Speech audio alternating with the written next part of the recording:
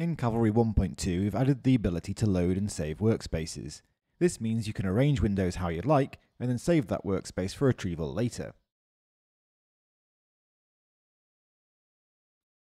To load and save workspaces, head to the Windows menu. The second option down will save a workspace to the Workspaces folder. To load a saved workspace, head to the Workspaces menu. Any folder you put in the Workspaces folder will appear as a submenu here. You can also reset to the default workspace by using the Reset to Default Workspace menu item. Don't worry, using this option will not overwrite workspaces you've saved to a file. Another thing we've added is the ability to quickly switch into a focus mode where just the viewport is shown. You can enter this mode with the shortcut Control Tab on both macOS and Windows.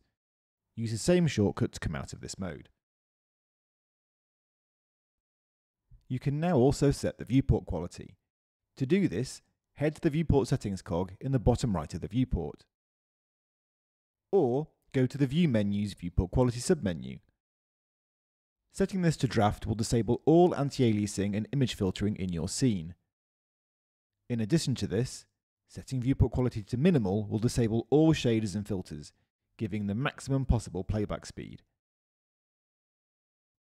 These options are also available when rendering.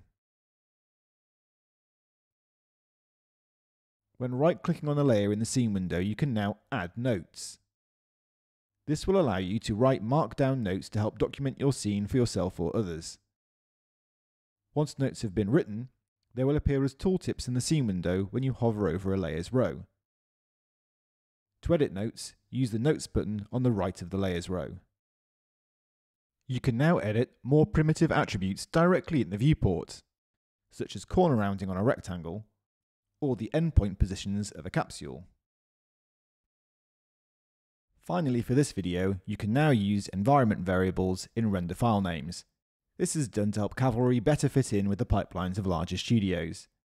To do this, open the render manager and enter some angle brackets in the file name.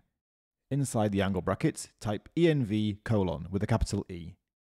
Then put the name of the environment variable after the colon. For example, I can put user in here, and you can now see that my username has become part of the file name below.